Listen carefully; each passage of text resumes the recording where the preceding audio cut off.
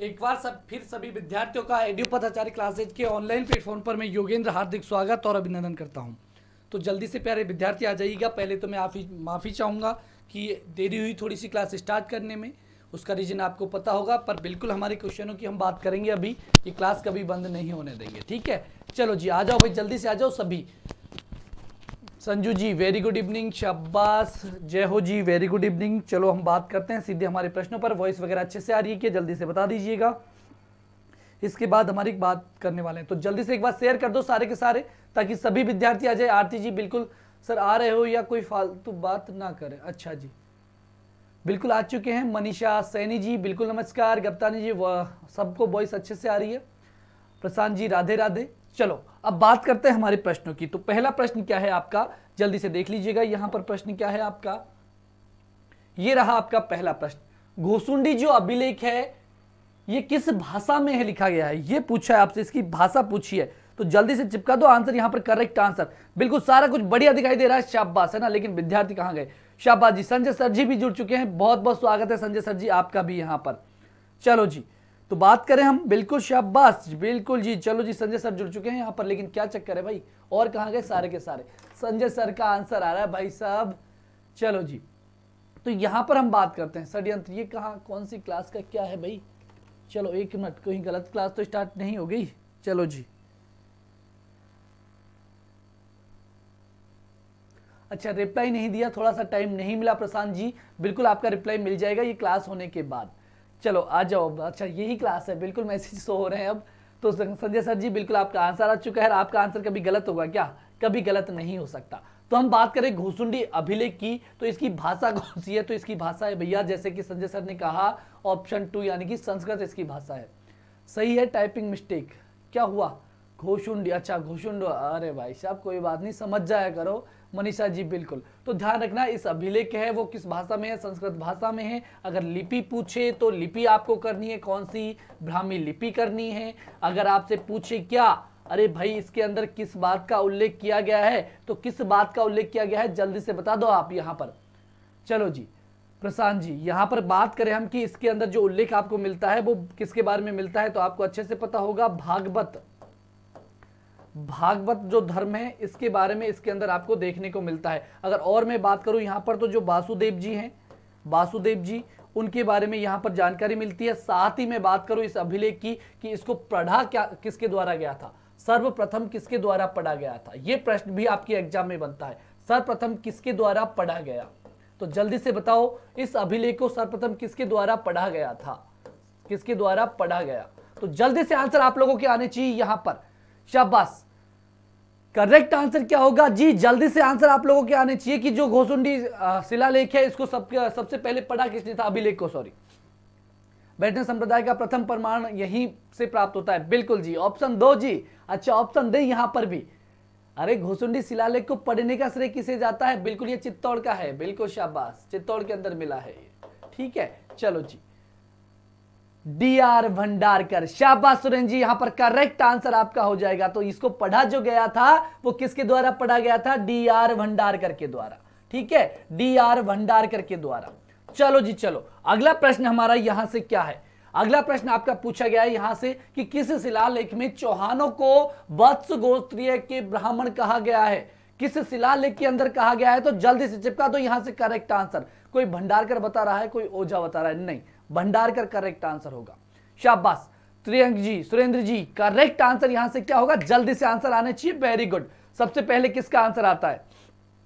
और जल्दी से शेयर कर दो। भाई शेयर तो आप करोगे नहीं, कहे बिना। वैसे मैं कहता ही नहीं, आप लोगों से तो आप करते नहीं हो। आपकी सारी समस्याएँ थी, वो सॉल्व कर दी।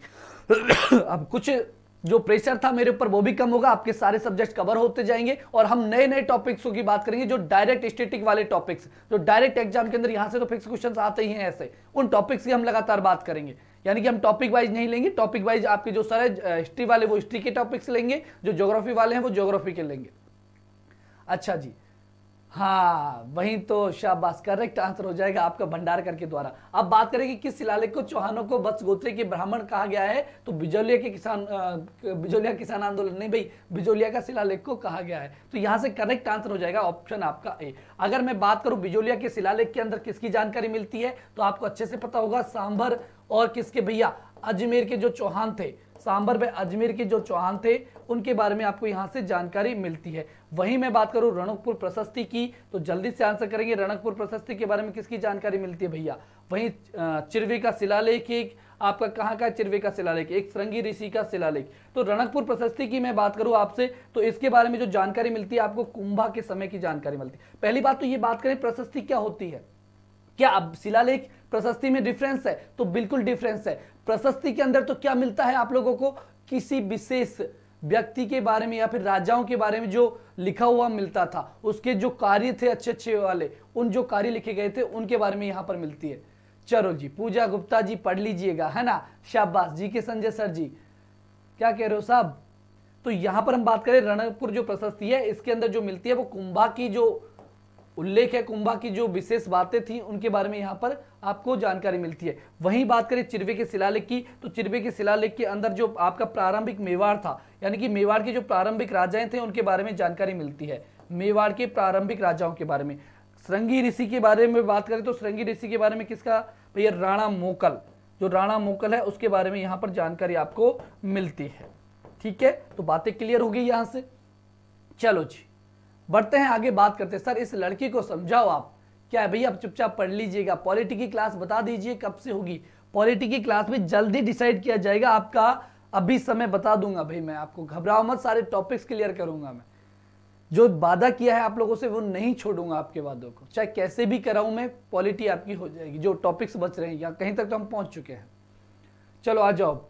अगला प्रश्न क्या है हमारा? कि कौन सा मंडोर के प्रतिहारों के इतिहास की जानकारी देता है? यहाँ पर कौन सा अभिलेख है इनमें से जो मंडोर के प्रतिहारों के बारे में आपको बताता है? तो जल्दी से बता दो शंबोली अभिलेख जोधपुर का। चलो, जोधपुर का थोड़ी है भैया। करेक्ट आंसर यहाँ से क्या हो पटियाला अभिलेख।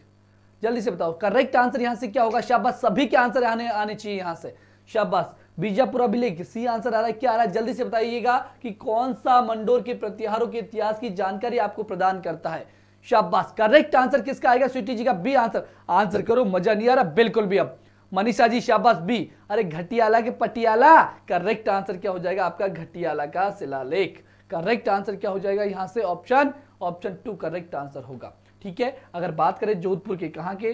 जो जोधपुर के शासक थे, इनके बारे में आपको जानकारी मिलती है। मंडोर कहाँ पर है? तो जोधपुर के अंदर है। तो जोधपुर के जो प्रतिहार शासक है, इनके बारे में यहाँ पर आपको जानकारी मिल जाती है। ठीक है, वहीं हम बात करें संभोली अभिलेख की तो संभोली अभिलेख के अंदर तो क्या, जो मेवाड़ के गुहिल वंश था, मेवाड़ का जो गुहिल वंश था, इसके बारे में यहाँ पर आपको जानकारी प्राप्त होती है। वहीं बीजापुर की मैं बात करूँ तो बीजापुर का तो भैया, बीजापुर अर्थ होना आपका बांसवाड़ा का है ना, बांसवाड़ा का, ठीक है? वहीं हम बात करें जो बीजापुर है, बीजापुर कहाँ का है? बीजापुर कहाँ का जल्दी से बताओ करेक्ट आंसर क्या होगा यहाँ से? चलो जी, बात करते हैं अगले प्रश्न की, शाबाश वेरी गुड अगला प्रश्न है हमारा कि निम्नलिखित में से एक लिंग शिला लेख जो 1428 ईस्वी में मिला था या फिर निकाला गया था, खोजा गया था, इसका लेखक कौन था? एक लिंग शिलालेख का लेखक का नाम आपको यहाँ से बताना है। तो जल्दी से करेंगे, अरे भाई, पढ़ लो, मैं घोर बेरोजगार विद्यार्थी हूँ। शाबाश। कप्तान साहब करेक्ट आंसर क्या होगा? पटियाला तो पैक होता है, ये पहचान गए बाबूजी। चलो जी, जल्दी से आंसर करो, सभी यहाँ पर करेक्ट आंसर यहाँ पर आने चाहिए आप लोगों के। संजू जी, बिल्कुल कुंभा यहाँ पर कर रहे हैं राणा कुंभा एकलिंग शिला लेख का लेखक। कुंभा, क्या आंसर कर रहे हो आप लोग? पूजा गुप्ता जी गर्ल हूँ टारगेट। चलो, आंसर करो, जो भी है आप लोग सभी। ठीक है, बीपी स्टेटस जी, बिल्कुल वेरी गुड इवनिंग बहुत बहुत स्वागत है आपका भी। महेश्वर, शाबाश। करेक्ट आंसर आपका यहाँ से हो जाएगा, एक लिंग जो शिलालेख है, इसका लेखक का नाम क्या था भैया? महेश्वर था, महेश्वर। ठीक है, चलो जी, बात कर ले अगले प्रश्न की। अगला प्रश्न क्या है हमारा? अगला प्रश्न है कि कौन सा मेवाड़ राज्य का सिक्का नहीं है? यहाँ पर जो सिक्के दिखाई दे रहे हैं, इनमें से कौन सा मेवाड़ राज्य का सिक्का नहीं है? शाबाश करेक्ट आंसर करो जल्दी से। बीपी भाई, जल्दी से आंसर कर। कौन सा मेवाड़ राज्य का सिक्का नहीं है? रामशाही राजशाही डोडिया। कौन सा नहीं है इनमें से? चलो, इसका प्रश्न का जो आंसर देगा ना, उसको कुछ मिलेगा। क्या मिलेगा? आंसर देने के बाद। शाबाश SMS Babu, Dodiya. Very good all शाबाश ट्रेन शर्मा जी। लेकिन अगर नहीं दिया आंसर तो भी आपको कुछ पनिशमेंट मिलेगा। ठीक है? पनिशमेंट क्या होगा, वो तब बताऊँगा। श्योर हो, बताओगे आप आंसर पक्का है कि सर करेक्ट आंसर देंगे हम तो। चलो जी, जल्दी से बताओ। Dodiya C very good very good शाबाश। डोडिया करेक्ट आंसर होगा। Very good evening Anand ji, बिल्कुल शाबाश। डोडिया करो डोडिया करो डी आंसर डी आंसर क्या है? ये सभी, कौन सा मेवाड़ राज्य का सिक्का नहीं है? कौन सा नहीं है? ये सभी है क्या? अरे भाई, यहाँ पर हम बात करें सभी, है ना? तो किसी का भी करेक्ट आंसर नहीं है। ऑल वाले तो ऑल कर रहे हैं, यानी कि ऑल ही हैं। इसका मतलब उनका यह था, प्रश्न को नहीं पढ़ा आप लोगों ने। आप लोगों ने नहीं पढ़ा प्रश्न को कि कौन सा इनमें से सिक्का है जो मेवाड़ का, मेवाड़ राज्य का नहीं है। तो राम शाही की हम बात करें तो राम शाही आपके कहाँ का है भैया? बूंदी का है। कहाँ के राम शाही बूंदी का है। वहीं रावशाही की हम लोग बात करें तो राव शाही कहाँ का भैया आपका? अलवर का है। अलवर का है, वही हम डोडिया की बात करें तो डोडिया कहाँ का है? आपके जैसलमेर का है। कहाँ का है? आपके जैसलमेर का है। आई बात यहाँ से समझ में? अब क्या करेक्ट आंसर करोगे तो आपका क्या होगा? करेक्ट आंसर इनमें से कोई सा भी नहीं है। सभी नहीं है यहाँ पर। कोई सा भी नहीं है मेवाड़ राज्य का यहाँ से। आगे बात समझ में? यानी कि इससे क्या साबित होता है कि आप लोगों का क्लास के अंदर ध्यान नहीं है। नहीं है ना? चलो करेक्ट आंसर यहाँ से क्या होगा? आपका ऑप्शन डी वैसे होगा। ये सभी मेवाड़ राज्य के सिक्के नहीं है। ठीक है, चले आगे, बढ़ते हैं अगले प्रश्न की ओर। अगला प्रश्न क्या है यहाँ से हमारा? अगला प्रश्न है कि लिल्लू लिया और लिल्लू शाही, लल्लू शाही सिक्कों का जो निर्माण है, ये कहाँ पर होता है भैया? ये लल्लू शाही क्या है भैया? जल्दी से देंगे। ठीक है, ये लल्लू तो नहीं होगा, शायद डब्बू बब्बू कुछ शाही होता है भैया ना? लिल्लू लिया लल्लू शाही जो सिक्के हैं, इनका निर्माण कहाँ होता है? आपके नागौर के अंदर, कुचामन के अंदर, सोजत के अंदर या फिर जोधपुर के अंदर? कहाँ पर होता है? जल्दी से आंसर करेंगे शाबाश। करीना वैरवा जी वेरी गुड यहाँ से करेक्ट आंसर करेंगे। बड़े दिनों बाद आपके दर्शन हुए। शाबाश। जोधपुर त्रियंक शर्मा जी, और भी आंसर आने चाहिए सभी के। अटेम्प्ट न कर रहा है। चलो जी, जल्दी से आंसर करो। शाबाश। डब्बू शाही, वही मैं कह रहा हूँ, डब्बू शाही है ये शायद। डब्बू शाही है, डब्बू शाही कर लेना इसको, ठीक है? डब्बू शाही है ये। चलो जी, बिल्कुल शाबाश। मनीषा सैनी जी, जल्दी से आंसर करेंगे। शाबाश। D answer, Jodhpur. चलो, और भी? जोधाना शाबाश। करेक्ट आंसर क्या होगा? सर मेरा पेपर रद्द हो गया। करीना वैरवा जी तो कोई बात नहीं। अब हो गया तो उसका तो कुछ कर नहीं सकते। तैयारी कंटिन्यू रखें। चलो जी तो यहाँ से जो करेक्ट आंसर आपका हो जाएगा चाहे तो लिल्लू लिया कह दो, डब्बू साई कह दो, ये दोनों ही जो सिक्के का निर्माण है वो कहाँ पर होता है? जोधपुर के अंदर या कहें मेवाड़ के अंदर? ऑप्शन फोर यहाँ से क्या हो जाएगा? आपका करेक्ट आंसर हो जाएगा। चलो जी, अगला प्रश्न क्या है हमारा? कि अकबर की चित्तौड़गढ़ विजय के उपरांत। अकबर की चित्तौड़गढ़ विजय के उपरांत मेवाड़ में मुगल शासकों के सिक्के जारी हुए, जिन्हें कहा जाता है। अरे, क्या कहा जाता है? जल्दी से बताओ करेक्ट आंसर और आप लोगों ने तो क्लास को शेयर नहीं की, है ना? चलो, मैंने कर दी थी क्या आपके ग्रुप्स में? चलो, जल्दी से बताओ करेक्ट आंसर यहाँ से क्या होगा? शाबाश करेक्ट आंसर क्या होगा? जल्दी से आंसर आने चाहिए सभी के आपके। सभी के आंसर आने चाहिए, शाबाश। बी आंसर एल ची एलची क्या भाई सिक्का, एलची है क्या? बिल्कुल बात करेंगे। शाबाश, सभी के आंसर यही है क्या? चलो जी, चलो। मतलब मैंने शेयर नहीं की तो आप लोगों ने भी शेयर नहीं की, है ना? चलो, कोई बात नहीं, ऐसे करोगे, है ना आप तो? ये इतनी तो वॉचिंग करनी है आपको, और तो कुछ करना ही नहीं है यहाँ से। वेरी गुड चलो जी, हम पहुँचा देते हैं आपके यहाँ पर टेलीग्राम चैनल तक। और जो भी आपके पास सोशल मीडियाज हैं, उन पर आप लोग जल्दी से शेयर कर दें। अब तो नहीं, रोज कर दें। ठीक है? अब तो चुपचाप पढ़ाई करेंगे। चलो जी, आ जाओ यहाँ से कि अकबर की चित्तौड़गढ़ विजय के उपरांत जो मेवाड़ है, इसमें मुगल शासकों के सिक्के जारी हुए, जिन्हें क्या कहा जाता है तो इनको कौन सा कहा जाता है? सिक्का एलची कहा जाता है। यानी कि यहाँ से करेक्ट आंसर हो जाएगा। और भैया, ये क्या है? द्रम में के ब्रह्म में द्रम तो सुना है हमने, ठीक है? द्रम होगा जहाँ तक है ये प्रतिहारों का सिक्का था भैया, प्रतिहार के अंदर, प्रतिहार वंशों का सिक्का हुआ करता था। दिनार भी क्या है भैया? ये ये चौहानों की हुआ करती थी मुद्रा। किनकी हुआ करती थी? आज भी दिनार तो कई देशों की मुद्रा है और उस समय किनकी हुआ करती थी? चौहानों की। ठीक है? तो यहाँ से राइट आंसर आपका क्या हो जाएगा? ऑप्शन टू करेक्ट आंसर हो जाएगा। चलो, अगला प्रश्न क्या है? यहाँ से समझ गया, शाबाश। चलो जी, अगला प्रश्न क्या है कि राबशाही सिक्कों का संबंध किस राज्य से? अभी तो हमने पढ़ा था राबशाही सिक्कों का संबंध किससे होगा? करौली से होगा, भरतपुर से होगा, अलवर से होगा या फिर किससे होगा? धौलपुर से होगा। सभी के करेक्ट आंसर यहाँ पर आने चाहिए कि राबशाही सिक्कों का जो संबंध है, अगर अभी किसी ने गलत किया तो कान के नीचे पड़ेगा। जल्दी से करो, करेक्ट आंसर यहाँ से।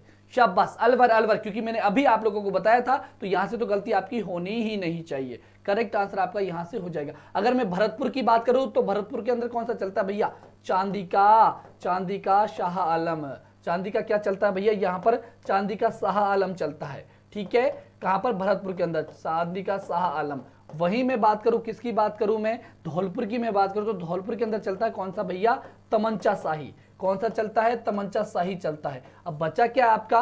करौली बचा तो करौली के अंदर कौन सा चलता है आपका? करौली के अंदर चलता है अखे शाही। कौन सा चलता है? अखे शाही आपका करौली के अंदर चलता है। ठीक है, आगे बात यहाँ से सारी समझ में। तो आपसे पूछा था रावशाही तो रावशाही आपके अलवर के अंदर। चलो।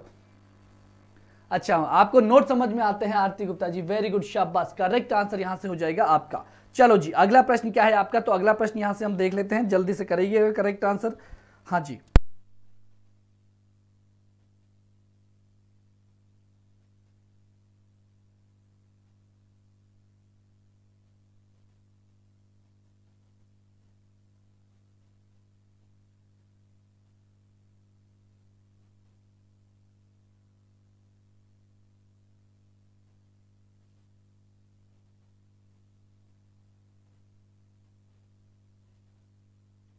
हाँ जी हम बात कर रहे थे किसके बारे में? शाबाश। अब आ जाओ जल्दी से करेक्ट आंसर यहाँ से क्या होगा आपका? कि राजस्थान का सबसे प्राचीन शिलालेख कौन सा है? तो सबसे प्राचीन जो शिलालेख आपका होगा वो कौन सा होगा? चिरवा का शिलालेख। अरे ना बाबा ये तो चिरवा। कब का है भाई साहब? चिरवा बारह का। ठीक है बारह का है चिरवा। वर्नाला की बात करें बरनाला शिलालेख। बरनाला शिलालेख कब का होगा भाई? वर्नाला कब का होगा? जल्दी से बता रहे वर्नाला कब का होगा? करेक्ट आंसर यहाँ से क्या होगा? हाँ, बरनाला हो जाएगा आपका गंगधार और बड़ली। तो करेक्ट आंसर कौन सा होगा यहाँ से? तो करेक्ट आंसर होगा आपका होने को तो कौन सा हो जाएगा? बड़ली हो जाएगा, जो कि चार है, ठीक है? चार ईसा पूर्व है, ये ध्यान रखना। ईसा पूर्व है, जबकि हम बात करें किसकी? गंगधार की बात करें तो गंगधार आपका पड़ जाता है कब? लगभग गंगधार पड़ता है आपका, गंगधार का कंफर्म नहीं है वर्नाला का ध्यान रखना वर्नाला का 243 के आसपास पड़ता है कुछ, ईस्वी। ईस्वी में पड़ता है ये। ये भी ईसवी के अंदर है। लेकिन आपका जो कौन सा बड़ लिखा है, वो चार है। चार सौ तैतालीस ईसा पूर्व है। भाई, अच्छे से देखना एक बार, चार सौ तैतालीस ईसा पूर्व मिलेगा आपको। ठीक है? करेक्ट आंसर हो जाएगा। यहाँ से कौन सा आपका ऑप्शन फोर करेक्ट आंसर होगा। चलो जी, बढ़ते हैं, आगे बात करते हैं अगले प्रश्न की। अगला प्रश्न क्या है? यहाँ से हमारा अगला। 443 दोनों लिख रखे हैं। हाँ तो 443 अधिकतर मिलता है। चलो जी, बात करते हैं कि राज्य के किस स्थान से वर्ली का शिलालेख प्राप्त हुआ है। अभी हमने बात की वर्ली शिलालेख की तो ये जो वर्ली शिलालेख है, ये कहाँ से प्राप्त होता है? अजमेर से, जयपुर से, झालावाड़ से या फिर उदयपुर से? तो ये जो प्राप्त होता है, आपको बिल्कुल कप्तान साहब करेक्ट आंसर आपका हो जाएगा। कहाँ से प्राप्त होता है? अजमेर से प्राप्त होता है। यानी कि राइट आंसर इसका कौन सा हो जाएगा? हमारा ऑप्शन ए करेक्ट आंसर हो जाएगा। चलो जी अगला प्रश्न है आपका कि आभानेरी व राजौरगढ़ के कलात्मक जो वैभव है, वो किस काल के हैं? तो आपको पता होगा आभानेरी किस काल की है भैया? तो चलो जी, खुशबू मोदी जी करेक्ट आंसर क्या होगा? यहाँ से जल्दी से आना चाहिए आप सभी के आंसर शाबाश। एक ही बार में बिल्कुल करेक्ट आंसर तो आभानेरी से ही आपको पता लग गया होगा कि आभानेरी और जो राजौरगढ़ है, इस जो आपको जो मिलेंगे कलात्मक वैभव कौन से काल के मिलेंगे? गुजर प्रतिहार काल के मिलेंगे। यानी कि ऑप्शन ए यहाँ से क्या होगा? आपका करेक्ट आंसर होगा। चलो जी, शाबाश। अगला प्रश्न क्या है यहाँ से हमारा? अगला प्रश्न है कि निम्नलिखित में से कौन सा मंदिर गुजर प्रतिहार वास्तु शैली का नहीं है? अच्छे से पढ़ना है और फिर आंसर करना है कि निम्नलिखित में से कौन सा मंदिर है जो गुजर प्रतिहार वास्तु काल वास्तु शैली का नहीं है। तो सभी का यहाँ से करेक्ट आंसर आना चाहिए, कौन सा होगा? गुज्जर प्रतिहार किराड़ू का सोमेश्वर मंदिर, ओशिया का सूर्य मंदिर गौट मांगलोद का दधीमती माता का मंदिर और वहीं चार चौमा का शिव मंदिर करेक्ट आंसर यहाँ से क्या होगा? वेरी गुड पकड़ गए। Sunita ji S ji, Sanju ji, Kareena ji, Pooja ji correct answer हो जाएगा भाई किस, कौन से काल का है फिर ये? गुज्जर प्रतिहार काल का नहीं है तो कौन से काल का है? जल्दी से बताओ। अरे ये गुप्त काल का है, किस, कब का है ये? गुप्त काल का है, ध्यान रख लेना। करेक्ट आंसर यहाँ से कौन सा हो जाएगा? आपका ऑप्शन फोर करेक्ट आंसर हो जाएगा। चलो जी, शाबाश, कप्तान साहब का आंसर भी आ गया। वेरी गुड गुप्त काल का है, ये ध्यान रख लेना। चलो जी, बात करते हैं हम अगले प्रश्न की। तो अगला प्रश्न क्या है आपका? कि राजस्थान में भूमिज शैली का सबसे पुराना मंदिर कौन सा है? राजस्थान के अंदर जो भूमिज शैली है, उसका सबसे पुराना मंदिर यहाँ पर आपको ढूंढना है। भूमिज शैली का, पाली का सेवाड़ी जैन मंदिर है, रामगढ़ का भंड देवरा है, मेलाल का महालेश्वर मंदिर है, या फिर डूंगरपुर का सोमनाथ मंदिर है। तो जल्दी से चिपका दीजिएगा, यहाँ पर करेक्ट आंसर अब यहाँ से यही बातें हमें ध्यान नहीं रखनी। आपको यह भी ध्यान रखना है, अगर बाई चांस पूछ ले कि सेवाड़ी का जैन मंदिर कहाँ पर पड़ता है, किस ज़िले के अंदर पड़ता है, पाली के अंदर। अब यहाँ से जैसे प्रश्न हो, उन्हीं में से हमको प्रश्न ढूँढने की और क्या भी बन सकता है। अगर आपसे पूछ ले सेवाड़ी का जैन मंदिर कहाँ है तो ध्यान रखना पाली के अंदर है। वही भंडदेवरा सब जानते हैं, रामगढ़ के अंदर है महानालेश्वर जो मंदिर है, आपके मैनाल के अंदर है, और वही बात करूँ मैं किसकी? सोमनाथ मंदिर की। तो ये कहाँ पर है? डूंगरपुर के अंदर। अब पूछा था, भूमि शैली का कौन सा सबसे पुराना है? तो गलत होगा रे। करेक्ट आंसर यहाँ से कौन सा हो जाएगा? आपका भूमि शैली का। तो यहाँ से हो जाएगा, भूमि शैली का आपका कौन सा? पालिका सेवाड़ी जैन मंदिर। यानी कि ए ऑप्शन यहाँ से करेक्ट आंसर होगा। पूजा जी, बिल्कुल शाबाश।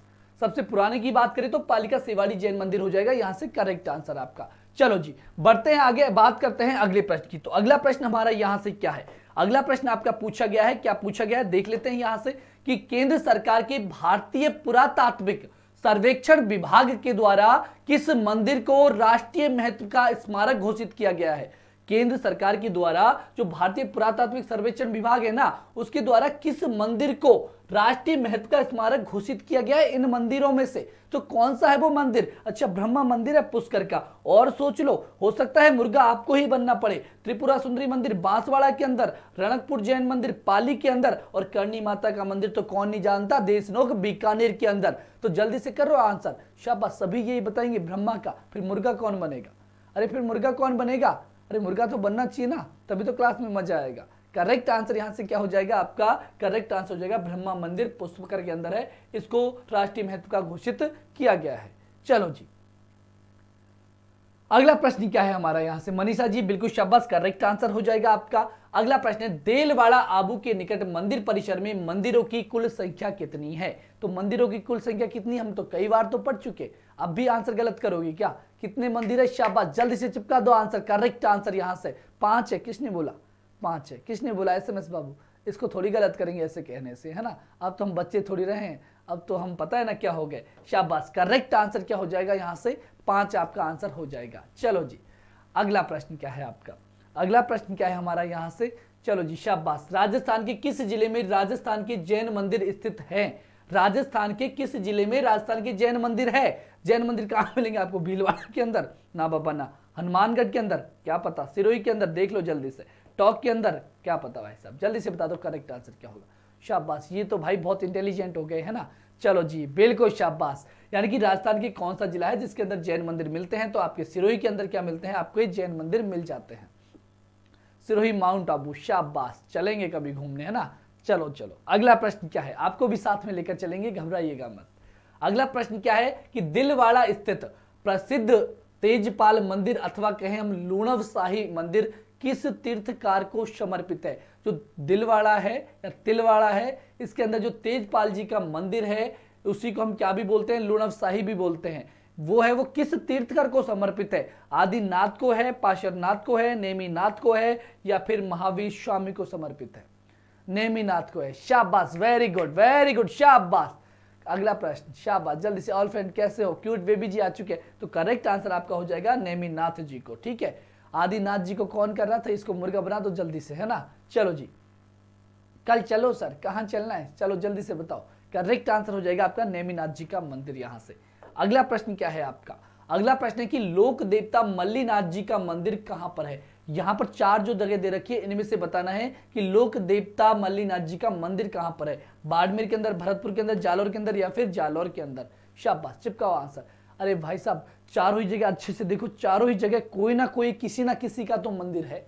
चारों ही जगह। सर किराया आप दो तो आज रात को ही बस पढ़ूँगा। अच्छा जी आ जाओ ऐसी भी बात नहीं है। किराया भी दे देंगे टेंशन मत करो। ठीक है चलो जी। अगला प्रश्न क्या है? वसूल लेंगे सारा कुछ। घबराओ मत आप ही से वसूल लेंगे। चलो जी, अगला प्रश्न क्या है यहाँ से? कि लोक देवता, अरे नौकरी लग जाओगे तब और ज़्यादा मत सोचो। इसलिए मैं पहले ही बता दू, ज़्यादा मत सोचना, नौकरी लग जाएगी ना, सब वसूल लेंगे। अगला प्रश्न क्या है?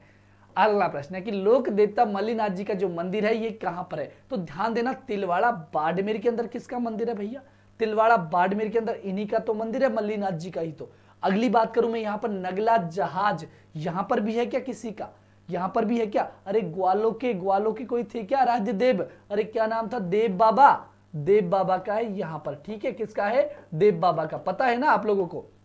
अगला, पढ़ा दिया मैंने आपको ये सारी चीज़ें। चलो जी, वही हाँ लूनी नदी के किनारे भाई ये तो। चलो, ये साईं बाबा थोड़ी है भाई साहब, ये साहू गाँव थोड़ी है, ये साथू गाँव है भाई, है ना? ये क्या है? साथू गाँव कर लेना इसको। साथू गाँव के अंदर, जालोर के अंदर किसी का है क्या? अरे किसका है आपको अच्छे से पता होगा? बीर फत्ता जी का।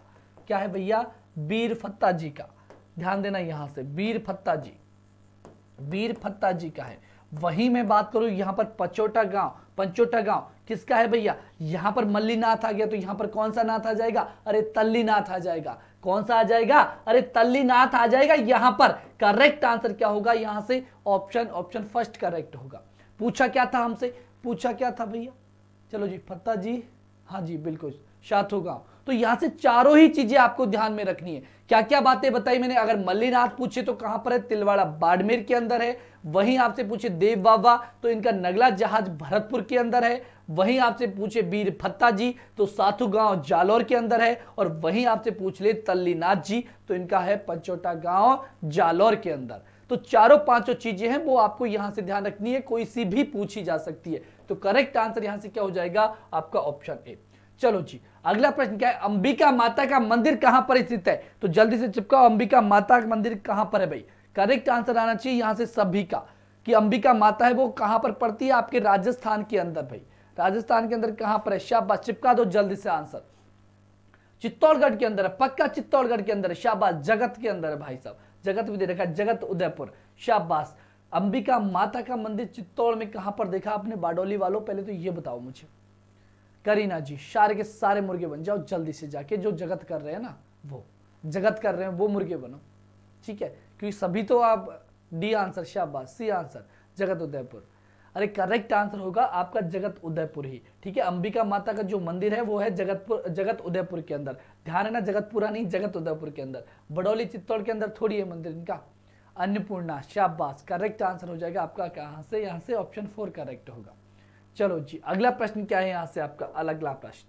अगला प्रश्न है, ओसिया के जो जैन मंदिर है, वो किस ज़िले में पड़ते हैं। ओसिया के जैन मंदिर कहाँ पर आते हैं? आपके जयपुर में तो हो ही नहीं सकता कभी भी, ठीक है? आपके जैसलमेर के अंदर, बाड़मेर के अंदर या फिर जो, कहाँ पर पड़ता है वो ओसिया?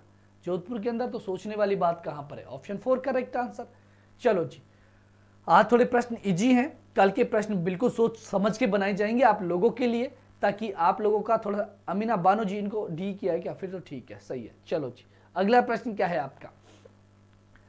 राजस्थान का भुवनेश्वर वेरी गुड चलो जी, अगला प्रश्न क्या है? भारत के किस राज्य की खनिजों का संग्रहालय है? वो कहा जाता है। खनिजों का संग्रहालय कहा जाता है। भारत के किस राज्य को, किस राज्य को कहा जाता है खनिजों का संग्रहालय। कहा, किसको कहोगे? अरे करेक्ट आंसर हो जाएगा आपके राजस्थान को कहोगे और किसको कहोगे? करेक्ट आंसर यहाँ से क्या हो जाएगा? आपका फोर आंसर करेक्ट हो जाएगा। कि अगर आपसे पूछ ले कि भारत के किस राज्यों का खनिजों का संग्रहालय कहा जाता है, क्योंकि खनिजों के भंडार सबसे ज़्यादा कहाँ पर मिलते हैं? राजस्थान के अंदर। तो करेक्ट आंसर यहाँ से फोर आंसर आपका हो जाएगा। चलो जी, बात करते हैं यहाँ से अगले प्रश्न की। तो अगला प्रश्न आपका क्या है यहाँ से? अगला प्रश्न आपका कि राजस्थान में पाया जाने वाला कौन सा खनिज भारत में इस खनिज उत्पादन में पूरे 100 प्रतिशत का योगदान करता है? यानी कि कहना ये क्या चाह रहा है, वही प्रश्न तो है कल का सही। बस थोड़ा सा चेंज किया है, क्या पूछा है कि पूरा 100 प्रतिशत खनिज यहीं पर पैदा होता है? यानी कि कोई और नहीं करता इसका। तो करेक्ट आंसर यहाँ से बिल्कुल शाबाश। कप्तान बाबू सिटी त्रियंक शर्मा सभी का करेक्ट होगा। किसका? वोलेस्टोनाइट। ठीक है ऑप्शन ए यहाँ से क्या हो जाएगा? आपका करेक्ट आंसर हो जाएगा। चलो जी। अगला प्रश्न क्या है? राजस्थान में, भारत में। निम्न में से किसका सबसे बड़ा उत्पादक है? यानी कि राजस्थान है ना, वो भारत के अंदर सबसे ज़्यादा, सबसे बड़ा जो उत्पादन करता है, वो किसका करता है? कच्चे लोहे का करता है, अभ्रक का करता है, प्राकृतिक गैस का करेगा, या फिर सीसा और जस्ता का करेगा? तो यहाँ से करेक्ट आंसर क्या होगा? जल्दी से करेंगे, आंसर क्या होगा आपका? थोड़ा सा जूम आउट कम कर दो।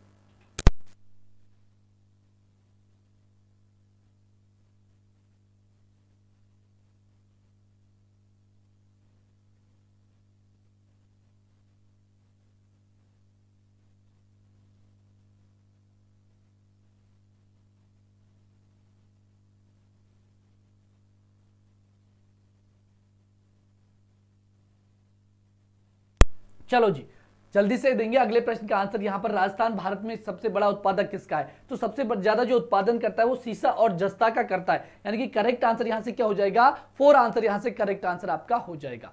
चलो जी, चलो। अब देखते हैं अगला प्रश्न आपका क्या है यहाँ से। हाँ जी, अगला प्रश्न है आपका यहाँ से, ये रहा आपका अगला प्रश्न की पंचभद्रा, अब ठीक है। चलो जी लड़ाई मत कर लेना, जल्दी से जल्दी से, शाबाश। Correct answer Rahi ji. जल्दी से आंसर करेंगे कि पंचभद्रा बाड़मेर के अंदर जो प्रस्तावित रिफाइनरी है, वो किसका संयुक्त उपक्रम है? किसका है? ओनजीसीएल एवं भारत सरकार का ओआईएल एवं यानी कि जो आपकी कंपनियाँ हैं, इनकी बात कर रहा है, यहाँ पर एचपीसीएल की बात कर रहा है एचपीसीएल या फिर भारत सरकार या फिर एचपीसीएल और राजस्थान सरकार। तो पंचभद्रा बाड़मेर की जब भी बात करें तो आपको क्या ध्यान में रखना है, किस कंपनी के साथ यहाँ पर समझौता कर रखा है, राजस्थान और एचपीसीएल अरे हाँ बिल्कुल शाबाश करेक्ट हो जाएगा आपकी राजस्थान सरकार। जब राजस्थान की बात आ रही तो भारत वाला ऑप्शन तो वैसे ही कट जाएगा यहाँ पर। दोनों ही ऑप्शन यहाँ पर क्या होंगे, गलत हो जाएँगे। बच्चा कौन सा ओआईएल और कौन सा एचपीसीएल तो यहाँ से जो आपका राइट आंसर होगा, वो कौन सी कंपनी होगी एचपीसीएल के साथ कर रखा है यहाँ से। चलो जी। हाँ पिछहत्तर पच्चीस का इसका इसी के अंदर है। चलो जी, अगला प्रश्न क्या है आपका कि कौन सा खनिज सिंघाना के मदान कुदान क्षेत्र में निकलता है? कौन सा खनिज है जो सिंघाना सिंघाना कहाँ पर आपके? झुंझुनू के अंदर। तो झुंझुनू किसके लिए प्रसिद्ध है भैया?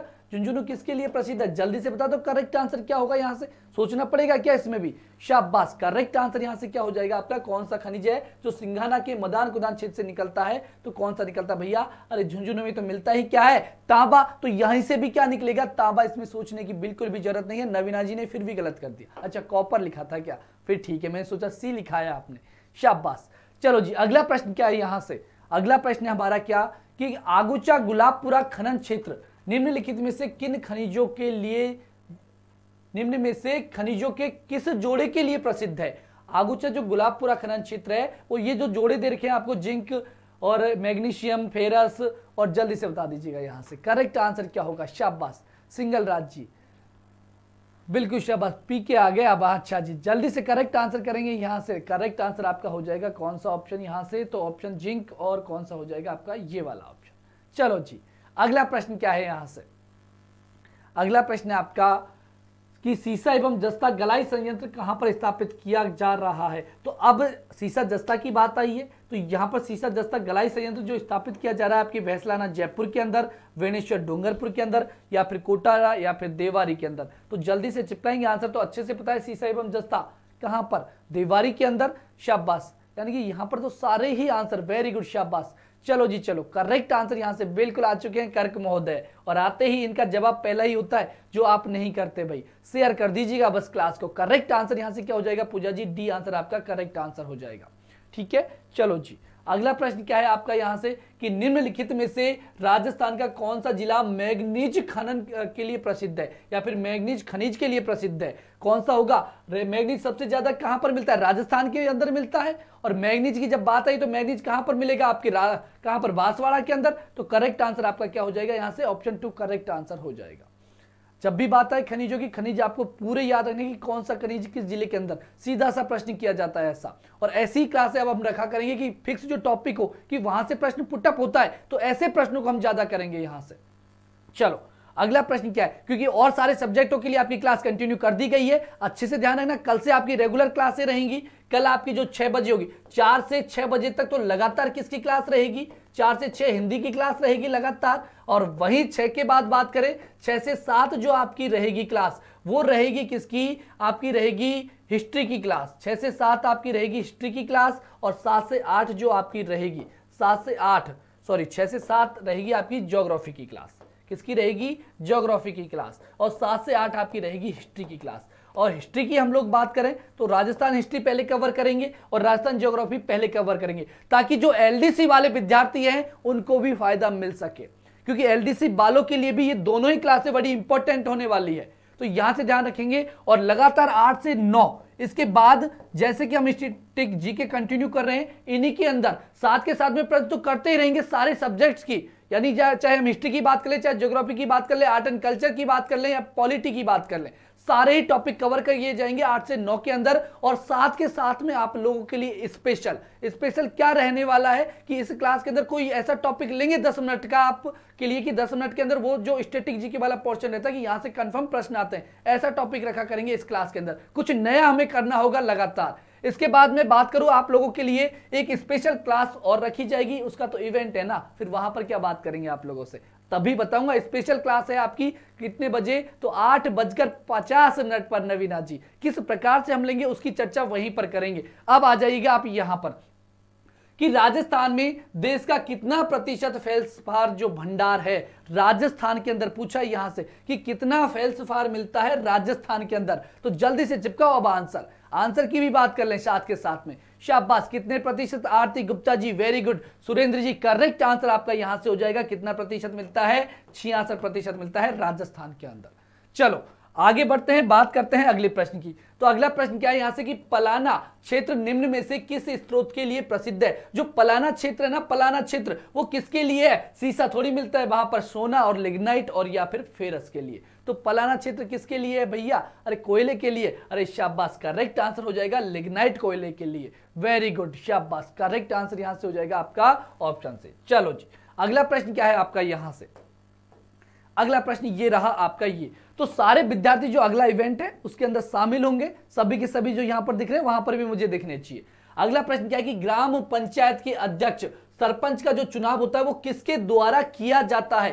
ग्राम पंचायत यानी कि ग्राम पंचायत का जो अध्यक्ष होता है वो कौन होता है? सरपंच। तो जो सरपंच का चुनाव है, वो किसके द्वारा किया जाता है? ग्राम सभा के द्वारा, निर्वाचित पंचों द्वारा, अपने में से? ग्राम पंचायत क्षेत्र के पंजीकृत मतदाताओं के द्वारा, प्रत्यक्ष निर्वाचन के द्वारा, या फिर गाँव के सभी नागरिकों के द्वारा प्रत्यक्ष रूप से? भाई, गाँव वाले यहाँ पर बहुत सारे। तो गाँव वालों को तो अच्छे से पता है और बहुत ही इंटरेस्ट आप लोग लेते हो सरपंच के चुनाव में। तो सरपंच का चुनाव कौन करते भाई, आप ही लोग तो करते हो। यानी कि जिनका नाम कहाँ पर है, उस गाँव की मतदाता सूची में है, वही लोग चुनते हैं यहाँ पर किसको? सरपंच को। वेरी गुड शाबाश। Vishal ji S M S ji, Aarti ji, Pooja ji correct Vishal ji three answer कर रहे हैं यहाँ पर।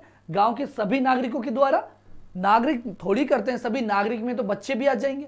नागरिक में तो बच्चे भी आ जाएँगे, गाँव के नागरिक तो वो भी कहलाएँगे। ठीक है? तो यहाँ पर हम लोग बात करें, यहाँ से तो ध्यान है ना गाँव के सभी लोग नहीं करेंगे। जिनका ग्राम पंचायत क्षेत्र के अंदर जो पंजीकृत मतदाता सूची है, उसके अंदर नाम होगा। उन्हीं के द्वारा सरपंच बनाया जाएगा। सर जी, आप राम राम का जवाब ही नहीं देते। अरे नवीना जी, बिल्कुल सभी के जवाब देता हूँ, मैं जैसे ही मुझे कमेंट्स होता है। तो यहाँ से करेक्ट आंसर क्या हो जाएगा? आपका ऑप्शन टू करेक्ट आंसर हो जाएगा। चलो जी, बढ़े आगे। अगला प्रश्न क्या है हमारा? अगला प्रश्न है आपका कि संसद, विधानसभा एवं स्थानीय स्वशासन संस्थाओं के चुनावों का जिला स्तर पर कौन नियंत्रण एवं प्रबंधन करता है? प्रश्न क्या पूछ रहा है? पहले प्रश्न पर ध्यान देना है अच्छे से।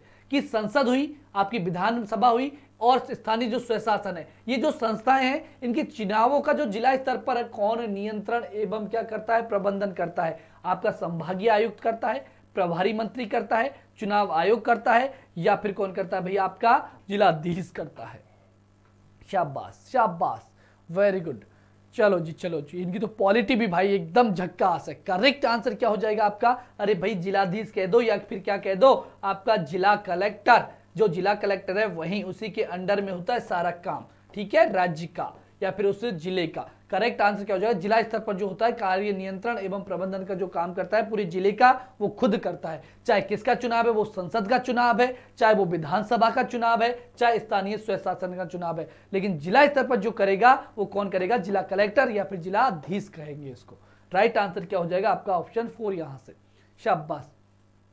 चलो जी, अगला प्रश्न यहाँ से आपका क्या है? तो अगला प्रश्न है आपका कि निम्नलिखित में से कौन सा कथन यहाँ पर सत्य है? यानी कि तीन तो यहाँ पर गलत है। अच्छा चार में दे दिए क्या उपरोक्त सभी? अच्छा जी, उपरोक्त सभी दे दिया तो सोच समझ कर आंसर करना।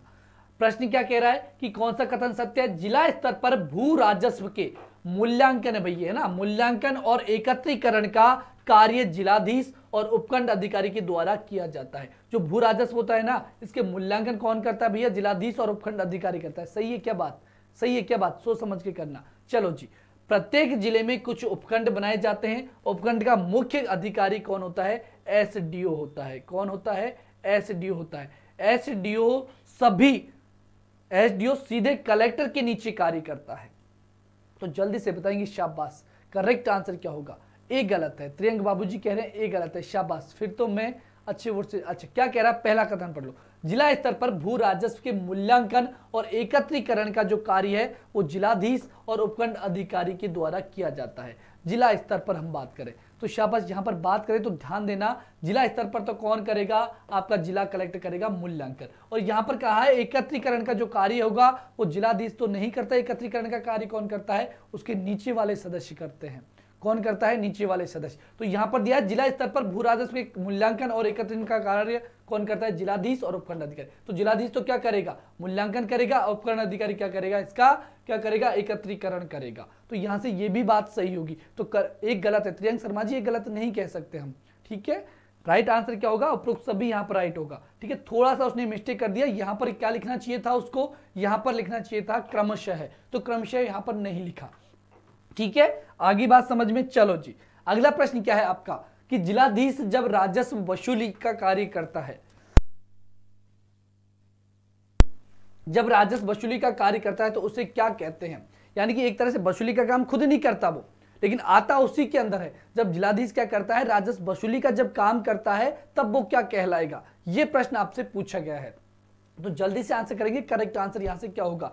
कलेक्टर कहलाएगा। तो जिलाधीश यहाँ पर मजिस्ट्रेट तो कहला ही नहीं सकता, विकास अधिकारी तो वैसे ही नहीं कहला सकता, रिटर्निंग ऑफिसर नहीं कहलाएगा, कौन सा बच्चा हमारे पास? कलेक्टर। तो करेक्ट आंसर यहाँ से क्या हो जाएगा? कलेक्टर आपका करेक्ट आंसर होगा। डी नहीं होगा। रिटर्निंग ऑफिसर नहीं कहलाएगा। कलेक्टर क्या जिलाधीश है, वो रिटर्निंग ऑफिसर थोड़ी कहलाएगा। अरे जब क्या करता है राजस्व वसूली का वो कार्य करता है तो उस समय वो कलेक्टर ही कहलाएगा। ठीक है? एकत्र करने वाला। चलो जी, ऑप्शन सी करेक्ट आंसर होगा यहाँ से प्रश्न के अनुसार। चलो जी। वैसे ये काम उसका नहीं होता है। ये ऑफिसरों ऑफिसरों का ये काम नहीं होता, ये करवाते हैं नीचे के काम। चलो जी, अगला प्रश्न क्या है यहाँ से? अगला प्रश्न है कि राज्य में संभागीय प्रशासन का जो मुखिया होता है, वो कौन होता है? तो संभागीय प्रशासन की बात कर रहा है, यानी कि संभागीय प्रशासन के अंदर कौन होगा? संभागीय आयुक्त, प्रभारी मंत्री, या फिर पुलिस महानिरीक्षक, या फिर जिलाधीशों की समिति होगी। तो करेक्ट आंसर यहाँ तो प्रश्न देख के ही आंसर लग रहा होगा। संभागीय प्रशासन का मुखिया कौन होगा? संभागीय आयुक्त होगा। जैसे हम बात करें जैसे हम बात करें कि जैसे कि सचिवालय की बात करते हैं तो सचिवालय का मुखिया कौन होता है? सचिवालय का मुखिया कौन होता है? मुख्य सचिव होता है।